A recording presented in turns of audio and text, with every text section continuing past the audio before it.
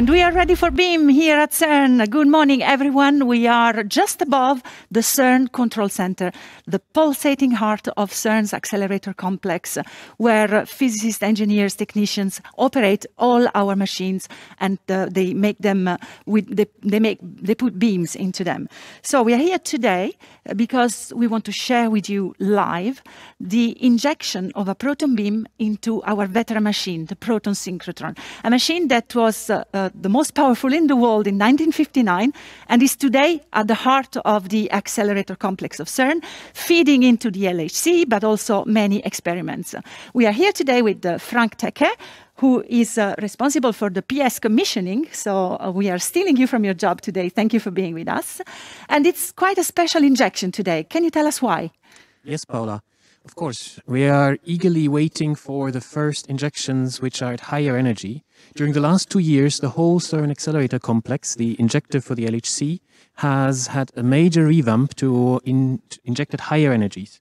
Already the machine which we have before we inject into the PS receives the beam from the LINAC at a higher energy, but also then is accelerated further. So we extract now the beam at an energy of 2 GeV, while before this two year of uh, renovation, we were extracting the beam only at 1.4 GeV. And giga wh- why is that? volt. Why did you increase this energy? So this is ultimately to increase the number of collisions in the LHC, because when we inject it at higher energies, we are able to make denser bunches of particles and then accelerate them further along the chain and finally collide these denser bunches in the LHC, which will produce ultimately a higher number of collisions, so a much higher number of interesting events for the physicists to analyze. And of course, because the physicists have already discovered the Higgs boson with the Large Hadron Collider in 2012, and to make this machine uh, more powerful with uh, more potential for discoveries, we are now increasing the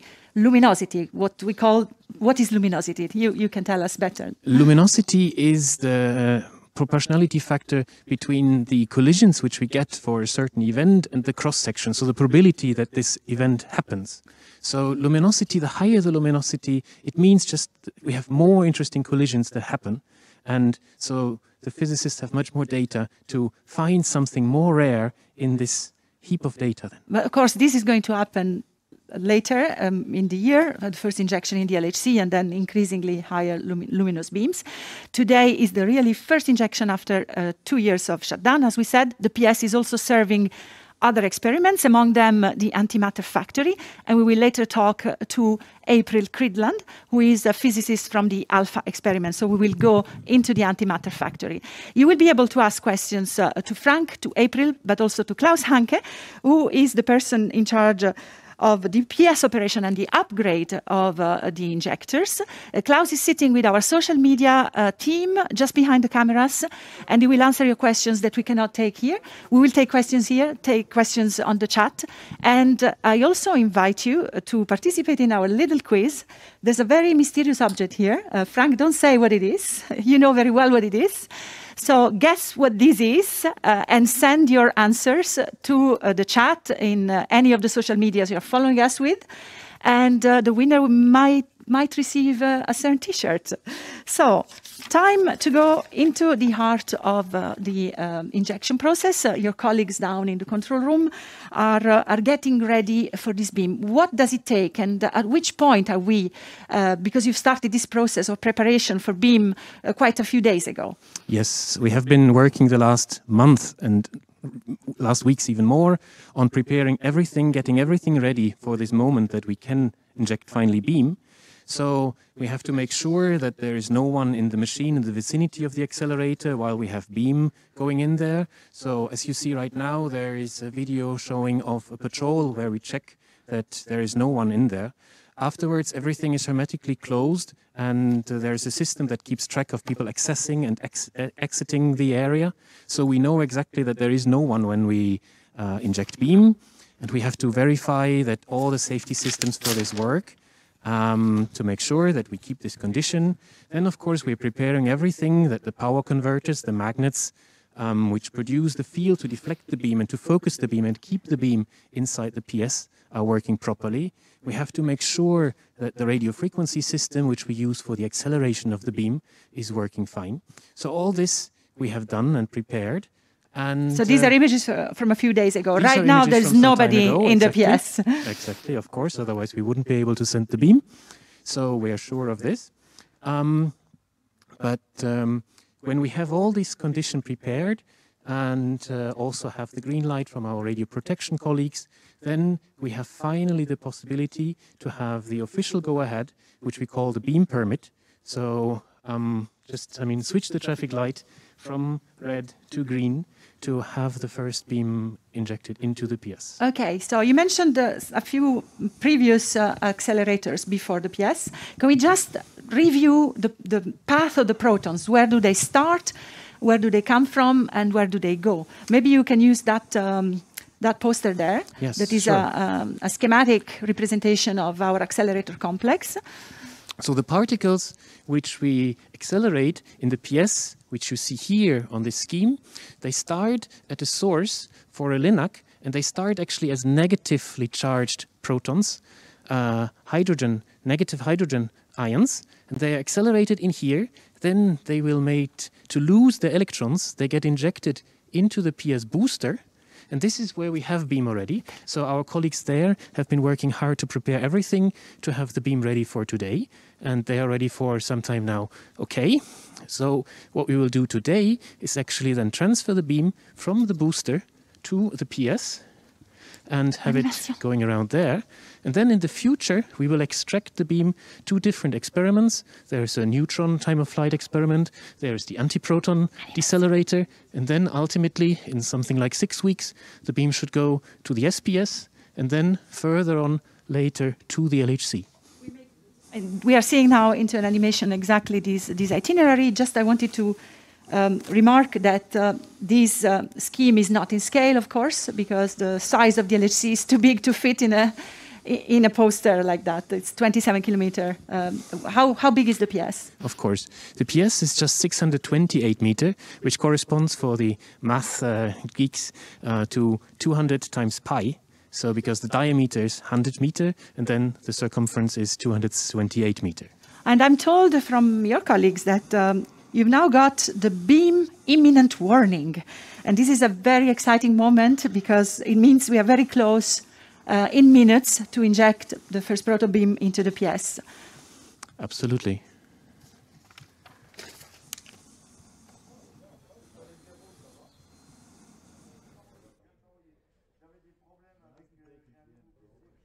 So this is what I was mentioning before, the go-ahead for um, the injection, so that we have checked everything, that everything is well prepared. This is what we call the beam permit. So a number of colleagues have to sign this, so that all the work has been uh, finished, that the access system from the safety side, everything is, is running. And uh, so then at the end, it's our operation group leader who gives the final green light for the, the beam. Very good. And I think we can go now to um, another of your colleagues, uh, Ron Steerenberg, who is also uh, an amateur cameraman. So he accepted to stay with the PS operator. There he is. Ron, can you hear us? Yes, Paula, thank you very much. So I'm going now into the, the PS island and I walk in front of the LINAC console where the booster operator takes care of that as well. So we can see that the, the LINAC is pulsing correctly as we, if you understand the page. Okay, then we continue and we see here some plots of the beam in the booster. So here we have the profile of the bunch and I think it seems to be all okay. So uh, booster is ready. As soon as the PS is ready, Very good. let's see, we go to the console uh, where the PS operator is sitting. He talks with the shift leader who is standing and a new operator who is learning. So uh, what we can see here, here, we have the, on the right side, uh, the graph is the kicker pulse. So that's the kicker that kicks the particles in, in place. Uh, that's already pulsing. Uh, below we have the super cycle. So the operator has programmed uh, a cycle in there, and this cycle corresponds to uh, a beam. So when this cycle is played, then we get uh, we can have beam. But before that, we have to go to the inhibit. But we do that later. this is the famous button. As soon as we take this button off, then uh, the inhibit is away, and then we are allowed to get particles from the booster. So I think we can go back to Paula, and then I will interrupt you as soon as uh, they're Yes. ready here. Yes. Um, so it, you really do. Uh, you really push a button. Well, this is just the Who have had a but Of course, there has been, as I said before, months of preparation to get everything working already. So we test everything as soon as we can. That power converters they give the current we require, so that everything works, everything is synchronized, and uh, so this is just a little step. But you don't see all the preparation beforehand that went into this. So I would really like to thank all my colleagues who did a tremendous work to get everything ready, and the colleagues from the machines before Booster and LINAC 4 to have the beam prepared so well that we are ready today to, after two years of having a sleeping beauty of the proton accelerator, to wake wake her up. Even though, of course, it was not sleeping in the sense that people were not doing anything, there was a lot of work ongoing for all the renovations, all the improvements. But uh, in the sense of beam, we didn't have beam for the last two years, but today we are again in the position to transfer the beam to the PS, and this finally you can do when everything is ready, in which we have made sure that then you can do it by the switch. So you, you didn't have Beam in the last two years, but you were underground doing a lot of work on the machine. Uh, most of you. Ron mentioned uh, uh, the kicker is pulsing. I know you've been doing work on this crucial element, the kicker, but also on, the, on another magnet, the septum magnets. Uh, maybe while we're waiting uh, for the moment of truth, you can maybe explain about these two uh, crucial elements that provide the, the beam from the booster to the to the proton synchrotron. We have Yeah. also some images because we were filming uh, your teams underground while they were doing uh, these uh, upgrade works on the on these two uh, magnets. Ah, okay. There is Um, there is beam alert right now. We've already seen it. Um, we've already we've already seen that video. Um, okay, so um, yes, Okay, so for, for the kicker and septa, these are crucial elements because the beam is extracted from the previous machine, so the proton synchrotron booster, and we have to bring it very close to the trajectory in our machine. And so there's a very thin magnet that separates the injection line where the beam is arriving from the circulating beam. So there's only a deflecting field to put the beam uh, in the right direction, almost at the at the position of the orbit already. And then there is a kicker magnet a little bit further downstream that makes sure that this injected beam just gets a small deflection so that it goes on the closed orbit in the ring. What you see here is the installation of the septum magnet. So this is basically the last element before the, the ring. So this is making sure that the injected beam just gets on the right trajectory, on the right path. and uh, I'm told that we are ready for beam. Is that right? Okay. Okay. Yes, Yeah. we are ready. Silence. We go back to the control room.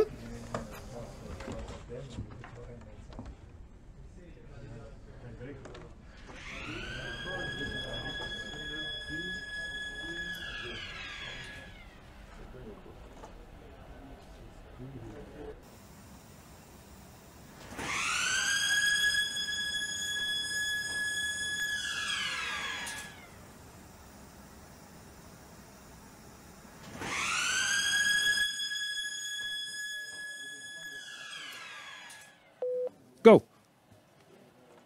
Attention, non pas encore, on n'a pas... Oui, voilà, vas-y. vas-y. Ok. Okay. They're going to take away the inhabit button. C'est bon Press.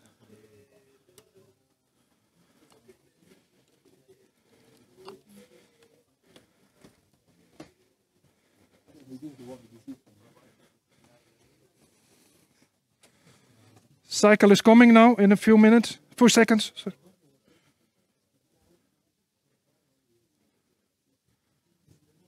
Nothing. Not yet. They're waiting for the for the beam. Should come in any moment now. Maybe there's still a problem on the other machines.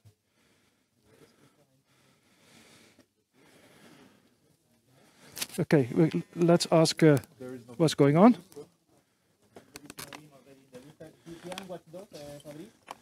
There's a, there's a problem on the booster, on the LINAC, on the LINAC or the booster. So we just learned from Ron. This is this is live, and of course uh, we didn't expect this. There is apparently a problem with the booster, which is the stage just before uh, the proton synchrotron. Uh, can you explain us, uh, Frank, what's happening? Maybe you were saying that we can see something on that screen, right? Yes, uh, this is what we call the supercycle. So this is the sequence of different beams that are played always in a circular way, so repetitive. And when there's a white dot here, then this means there is beam in the booster. So we just got beam in the booster back, in fact. Oh, so, great, fantastic. So now, ah, and you see it. yes. So this is the screen which we have just next to the septum. So this is at our injection line into the ring, and we just seen that this beam now went into the PS. This is the beauty of live. So I was trembling for a moment. We have been back in the booster, so uh, now they're ready to redo the injection procedure, I guess. Yes, of course. Now this is this is just the start.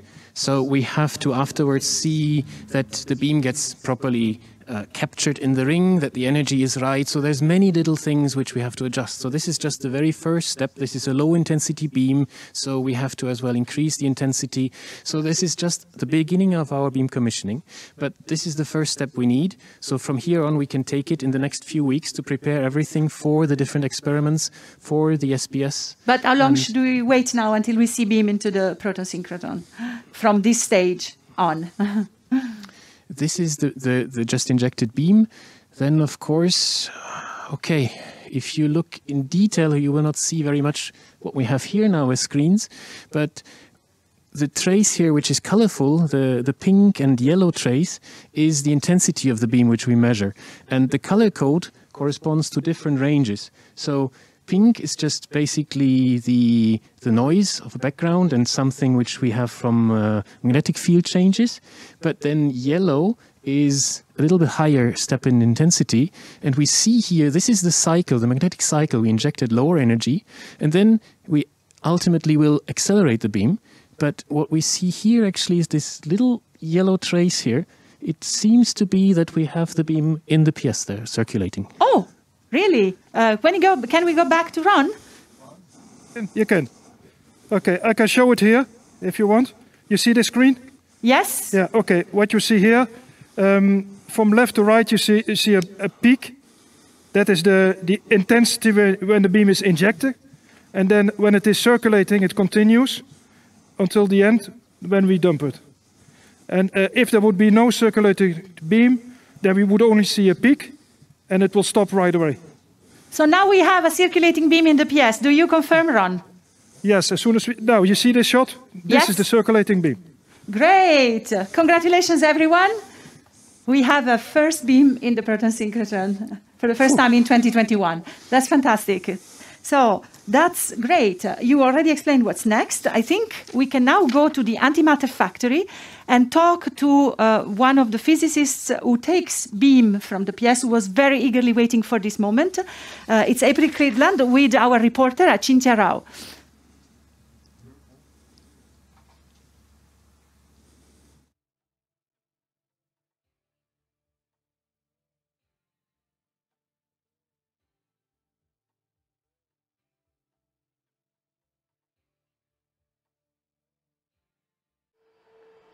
Thanks very much, Paola.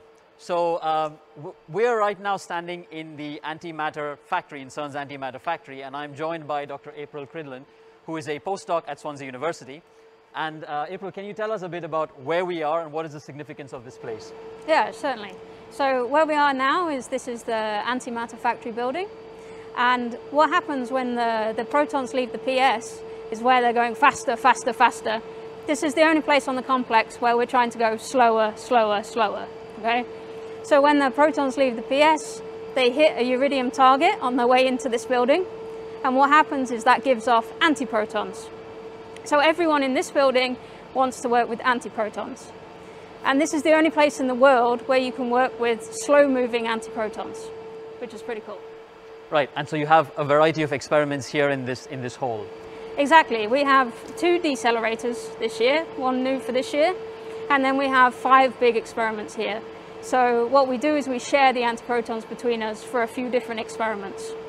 And why is antimatter interesting? Why do you want to study it? Yeah, so I'm sure everybody's familiar with the Big Bang Theory.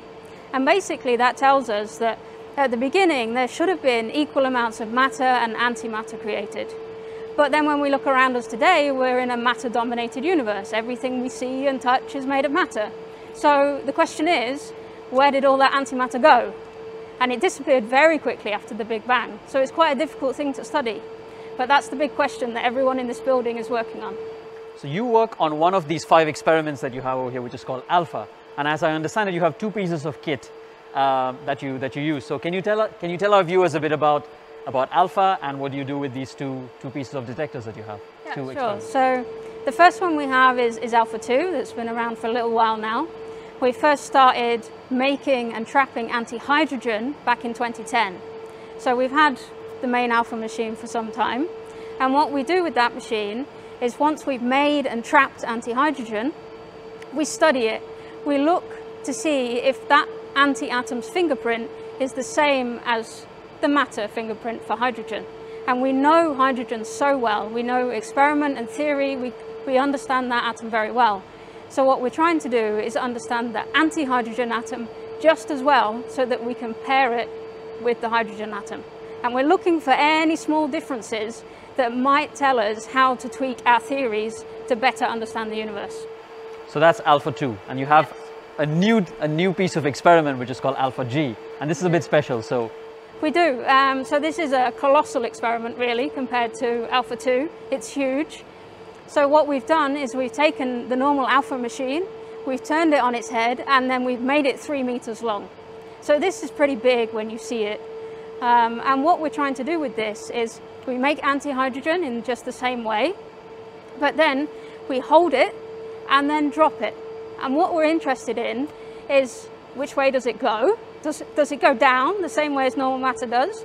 Because believe it or not, this has never actually been tested and it's really not so simple a question to answer. And then once we know where it goes, how fast does it go there? Does it go and fall at the same acceleration due to gravity as, as normal matter does? Again, we're looking for any small differences we can find. So just to give our viewers a quick recap, you have antiprotons produced when the protons hit a iridium target. And then you need to add anti-electrons to the mix. yes. And you mix up your anti-protons and your anti-electrons and then you get anti-hydrogen. Exactly, yes. And I believe you have a piece of kit for us to show, uh, to show our viewers uh, some of how this is done. So Exactly. Take a look now. So, inside all of our systems is a penning trap. And this is what a penning trap actually looks like. So if you want to trap charged particles using a penning trap, you need a static magnetic field. And it looks like a huge solenoid when you look at the pictures, uh, just a big cylinder. And then inside that massive cylinder, there's this little cylinder. And this is a stack of electrodes, and this is how we create our static electric field. So using both of those two fields, we can trap charged particles. So that helps us with trapping antiprotons and positrons, so then we can mix them together. But once we've mixed them, antihydrogen is neutral. So you can't no longer use just a penning trap anymore. So antihydrogen does still have a magnetic moment, so we can trap it holding uh, another set of magnetic fields. And that's how we trap it, we hold it, and we can manipulate it for the tests that we want to do. And when you say hold it, they're still moving at a certain velocity, right? They're still they are, whizzing yes. around. You're, so you're how not, slow not, is slow for you? So what we can do at the moment before we, we apply any kind of uh, cooling to anti-hydrogen or anything like this, that's not great. You can, uh, you can, we can hold them around 70 to 90 meters per second. 70 to 90 meters per second is slow for, for uh, antimatter at, at CERN. Exactly. Thanks very much for showing us this. And so we are now going to get the first beam uh, after a two-year long shutdown into, into the PS and then subsequently into AD and ELENA. But something's changed, right, for, for this, this whole, uh, uh, from this run onwards. So what is the first thing that you're going to have to do when you receive these, these antimatter beams, antiparticle beams? Yeah, so we have a new decelerator come online this year. It was tested shortly before the shutdown, but we haven't run any, any data with it. So job number one is to understand how this decelerator is going to work with these experiments. And, and because what this decelerator does is around the normal antiproton decelerator, we can, we can slow things down to about um, five mega electron volts, but coming into out of ELENA, we can get it down to 100 kilo electron volts. So all of a sudden these particles are moving much slower than they were last time. So we have to learn how to work with that. How do we trap these much slower particles? We have to change our timing, we have to change our experiment slightly. So once we've optimized actually trapping these, these, these anti, slower antiprotons, then we'll start working with alpha G. Because what we managed with alpha G before the shutdown was to get it tested with antiprotons and positrons, but we didn't make any anti-hydrogen in that machine. So job number one is going to be making anti-hydrogen in that machine for the first time. All right, well, uh, thank you very much for your time and all the best for, for the, the upcoming run of the, of the anti-proton decelerator and ELENA. All the best for your research. Thank you. Uh, don't forget, our experts are on hand to answer any of the questions that you may have for us, so please send them in and we will, we will have our experts. Back to you, Paula. And thank you, Achintya. Thank you, April. April is going to join us uh, in moments. The time to, to come from the Meyrin site uh, in Switzerland to this campus, Prévessin. We are in France, actually, and we are just above the CERN Control Center, where uh, a major feat has just happened. We got the first beam into the proton synchrotron, and it's now question time. Uh, I invite everyone to keep sending us questions for Frank, but also for April, and uh, also to send your uh, proposed answer to the quiz. Guess what this object is? At the same time, uh, send your address as well, because the winner will get a certain t-shirt. I can confirm that now. So we have a question from Rami Al-Sabag. Uh, was the PS also upgraded as part of the high luminosity LHC? Yes, indeed. Yes, Paula, absolutely, of course. So the upgrade of the PS is concerning mainly everything related to this higher injection energy when we went from 1.4 gigaelectron volt to 2 gigaelectron volt. So all the transfer line to the PS was completely rebuilt. Then the injection elements, the magnets there, are revamped. So as well, then we need afterwards to have more intense beams as well, which we accelerate. And so this leads again to some new instabilities in the machine, which you have to fight against. So we need a stronger RF system as well to uh, fight some instabilities in, in, in there. And uh, so many things in the PS have been upgraded as well, and many things have been as well just renovated because of the age of the machine. Right. You said the machine is over 60 years old. So, for example, we have 100 magnets in the machine, which are dipole magnets to make the the beam go around in a circle and also at the same time focusing this beam. And for example, we had in this long shutdown of two years, we had 42 of these 100 magnets, which are big They were taken out. There are several tons. they were taken out, and the coils were renovated, and they were put back in place. And so we have a, a, a renovated magnetic system there for yeah, the we PS can tell as you well. what work was going on round the clock uh, in the in the tunnels at CERN, not just the PS, but uh, also the other machines. So Aslam Shock uh, asks on Facebook, what will be the ultimate energy of the LHC after this upgrade? The LHC is designed to have a collision energy of 2 times 7 TeV per beam. So in the center of mass, then 14 TeV. So, so far we have been running at lower energies to have a bit of safety margin for the cryogenics. But uh, certainly we will go in the next run to higher energies. So we, we've been to 13 tera electron volt already, and uh, the extra step is uh, one tera electron volt more, which is enormous compared to the PS. Can you maybe uh, summarize how the energies are increased step by step at the various stages of CERN accelerator complex? Yes, Paula. I mean, as I was briefly explaining before, we have a whole chain of accelerators before the beam finally arrives in the Large Hadron Collider. So um, the LINAC accelerates the beam to 160 MeV, mega electron volt. The booster then goes to the 2 giga electron volt, which I mentioned before.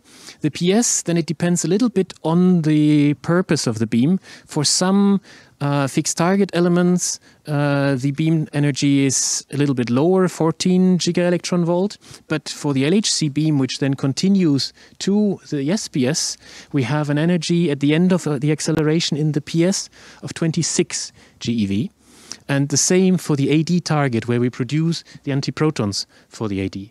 So then it goes into the SPS at 26 GeV for the LHC beam, and in there it's accelerated to 450 giga electron volt before it's finally injected into the LHC. At 13? At this, no, no, the injection is at 450 450, GeV. and then it's in the LHC that it gets the bigger ac- ex- acceleration. exactly. So in the PS, it's from 2 to 26. Yes. It's, uh, it's, really, it's really incredible. And what always strikes me is that you can do this in a cycle of a few seconds. Essentially. Yes, we have a continuous, uh, what we call supercycle repetition of different beams, which we distribute to different fixed target experiments and the SPS with fixed target experiments and the LHC.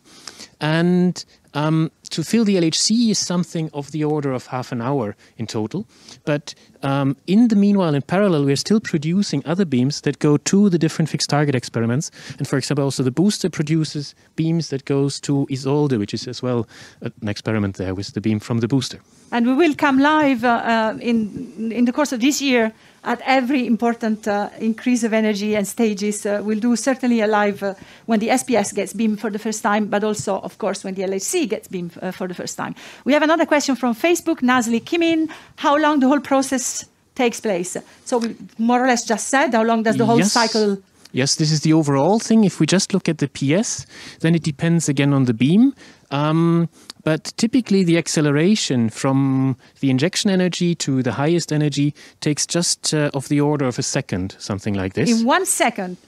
even even a bit less. Um, Fantastic. but uh, we have to accumulate the beam as well. So we get, in fact, for the LHC beam, typically we get two injections from the booster, so 1.2 seconds apart, and then this beam gets accelerated, so that a whole cycle in the PS for this, for the LHC beam, takes 3.6 seconds.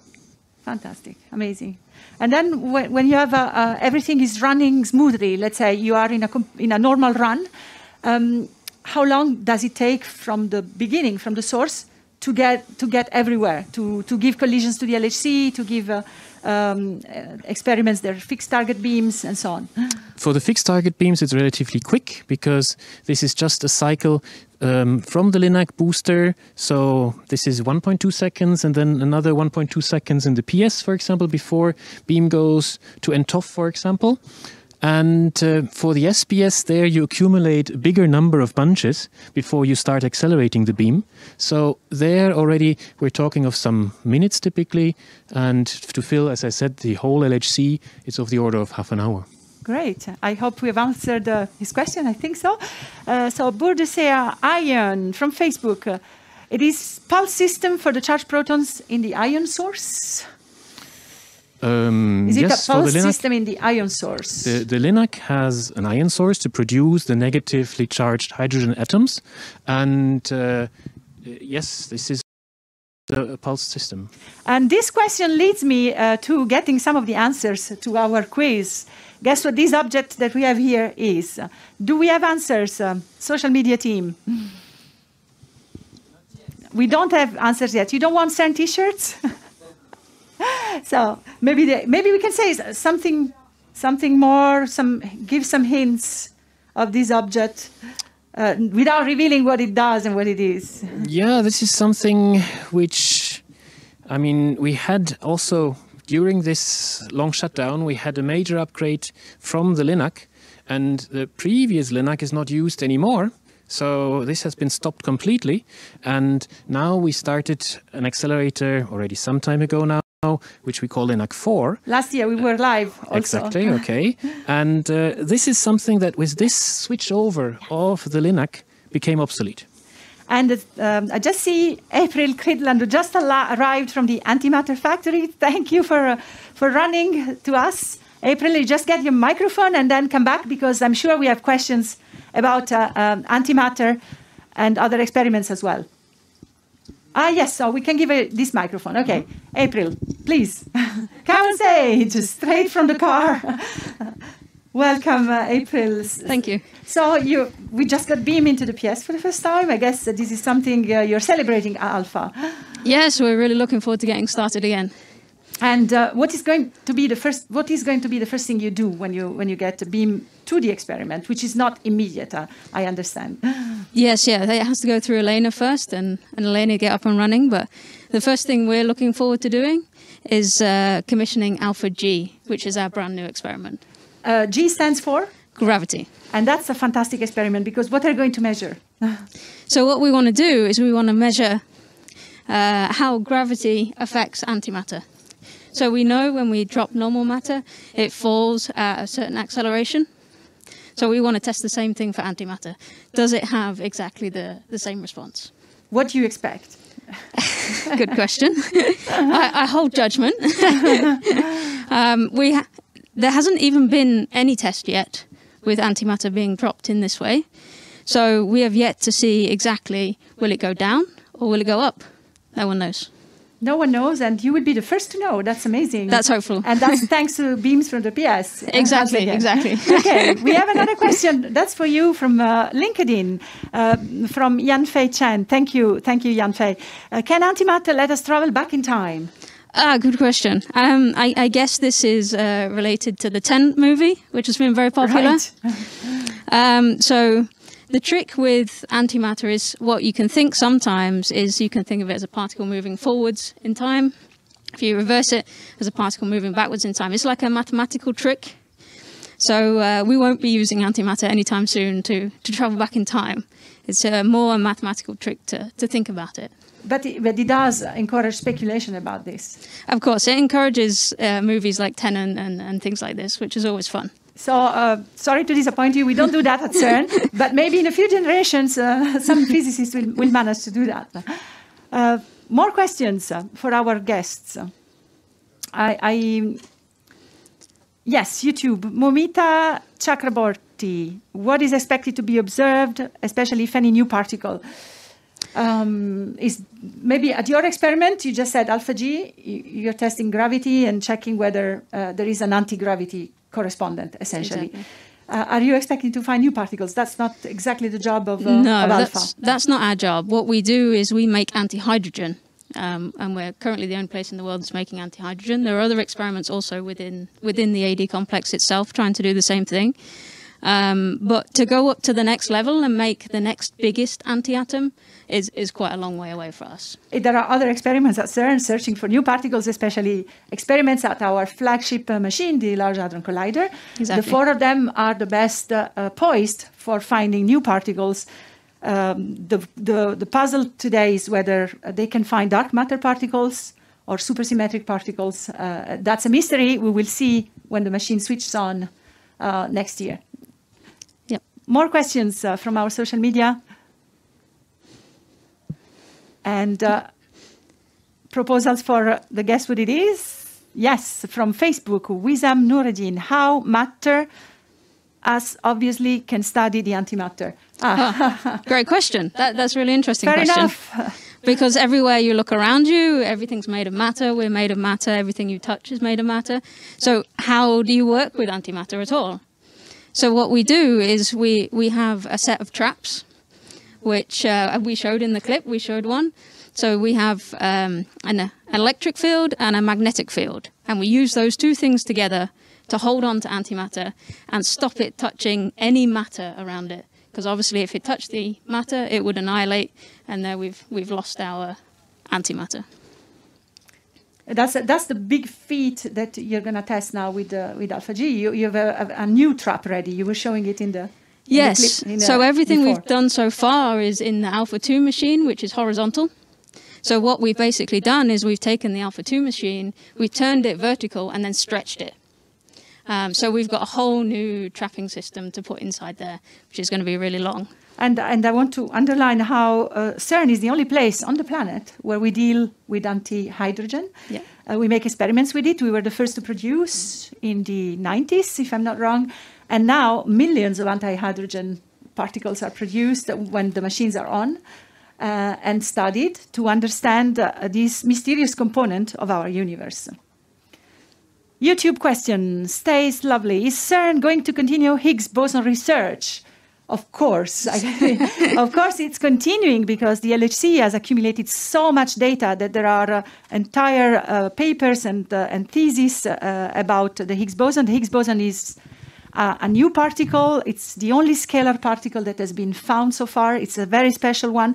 So it's going to feed uh, PhD thesis for a long time, I guess, even after the machine is switched is switched off. I don't know, Frank, if you want to say. Yeah, of course. The LHC, the, the whole reason for this big upgrade, this big shutdown we had in the last two years, is to increase the number of collisions in the LHC. Finally, so there is the program of the high luminosity LHC, where the injectors they will produce brighter beams, they will produce more intense beams, I mean, denser beams. Brighter means intenser in our terminology of accelerator physicists. So, and with this, you get more collisions, and the ultimate goal is to have a total integrated luminosity of the LHC 10 times bigger than what we had so far. So, there is still a potential for discovering many new things of the Higgs, and also to see there's some models that predict, for example, it's not a single Higgs, but it could be two different Higgs particles that are just very similar. And in order to see eventually if it's this, then of course uh, the experiments continue yeah. to do all the analysis of the particles which we provide. Spotting one is uh, is not the end of the story, I can tell you. So another question from YouTube, Stako Okat. Thank you for your question. What do you do to the anti-hydrogens once you make them? Yeah, so basically what we do is normally we run over an eight hour shift. So we can make about a thousand anti-hydrogen atoms over that time. And then once we've kept all of those together, we shine lasers on them because we want to know if they react in the same way as hydrogen does to the mm-hmm. same lasers. And, and basically what that allows you to do is, is measure the fingerprint of that atom. So every atom has a particular fingerprint that you can, you can measure. And that's what we do with anti-hydrogen. We compare that then with hydrogen. What are the hints so far? Because you've done this uh, before, a shining laser on anti-hydrogen. And I, I, know that Alpha has published uh, a lot of, of new uh, research papers recently. What, what have you found that is intriguing, that leads you to make more experiments? So what we found at the moment, we've only measured um, one transition to a very high uh, precision, so 10 to the minus 12 precision. We've measured uh, the ground state to the first excited state. Um, but hydrogen itself is measured to 10 to the minus 15 precision. So we're still three orders of magnitude away from what they can do with hydrogen. Okay. So we've got to keep pushing uh, until we can make a direct comparison. That, that's how research progresses and how science exactly. progresses. From LinkedIn, uh, Josué Vitaglione, thank you. Could antimatter enable new energy storage compact solutions in the future? That would be lovely, wouldn't it? Could we could we solve the energy crisis that we have with this? Yeah. Um, so basically, the issue at the minute, of course, is being the only place that makes this stuff is that it's really expensive to make this. so if you could uh, make that process more efficient, uh, then in the future possibly we could we could think about that. But we cannot answer this question uh, un until we have studied it in depth. So this, we are at a very far away stage from the future application on, on the energy uh, problem. So we need to, to study more and, uh, and, get more fundamental knowledge before we can apply this knowledge. Another question. Noel Rockel from Facebook. Can you get an anti-Higgs boson? oh, I think you're asking the wrong person there. yes. no, I think I'm not commenting. no, yep. You want to ask a, a theorist that question? We will ask a theorist, uh, and we will let you know uh, very soon on the chat. Uh, this is not a question for today, but thank you for the question. you cannot. Uh, we hear from the from the audience, uh, from our from our technical technical crew, which includes a ex-Higgs boson physicist, you cannot get an anti-Higgs. It's the same. It's the same particle. Uh, the Higgs is the same particle and its own anti-particle. This is the only thing I can say for now, but I invite uh, uh, Piotr to write the answer complete into the chat. Thank you. And I think uh, uh, with this question, we might as well close uh, um, the show today. I would like to thank first and foremost the CERN Control Center, Frank and Klaus Hanke, and the whole team at the PS Controls for letting us in, uh, disturb their work, and uh, to share this moment with you. And I would like to thank April, of course, for taking you away from your antimatter factory and coming here on the Prévessin site in France for answering the questions. thanks to the um, to the viewers, of course, for your questions and for everybody who has uh, watched us. And thanks uh, to the technical crew. We'll certainly come back live uh, um, when our next accelerator in the chain gets beamed for the first time, the superproton synchrotron. And for now, bye bye. And um, ah, there's another question. It seems like in the video clip you showed a piece of the thing that you asked us to guess. So is it an injector of hydrogen protons? So this is. Thank you for uh, answering the quiz. Uh, Frank, uh, you are the judge uh, to ACOP. is this an injector of hydrogen protons? This- it's not far from the from the truth, right? Yes, yes. As I said before, this is the part which is now obsolete because the hydrogen, I mean, the the hydrogen which are negatively charged, which we produce now in LINAC 4, they're a bit different. But we're, we're I mean, it, it has to do with the source of protons. It yeah. is a proton source, and I really congratulate ACOP for uh, guessing the answer in his own terminology, but he was not wrong. So, Yeah. this is a proton source. It's at the very beginning of the accelerator complex circuit. And it makes uh, the, the protons for injecting into the, into the first stage, which is the linear accelerator, the LINAC. So congratulations. Uh, this was uh, full of emotions. we lost the beam. We got the beam back. We got the beam into the PS. We got April safely. And we got the answer to the quiz. Thanks, everyone. And uh, see you uh, at our next live. Bye for now.